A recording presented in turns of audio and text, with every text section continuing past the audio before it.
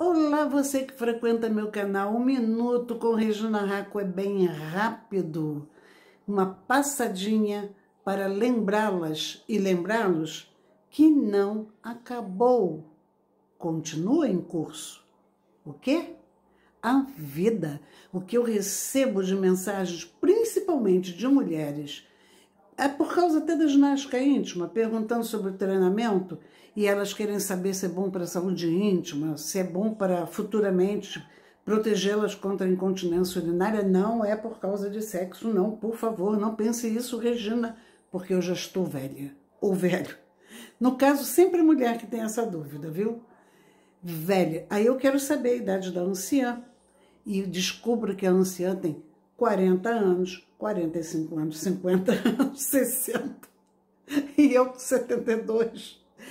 Gente, o que é isso? Vocês resolveram morrer antes da hora? É sério?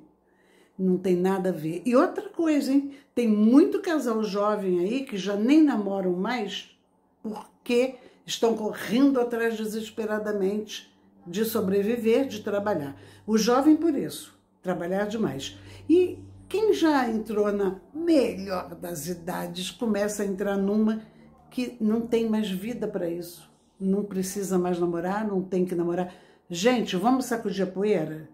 Namoro está liberado e vai ser cada vez melhor. E quem pensa isso está perdendo a época de ouro. Olha, filhos criados, já saíram de casa, vocês dois estão sozinhos. E hora de se descobrir e viver o melhor que a vida tem a oferecer. Viver é prazer, tenha prazer em viver.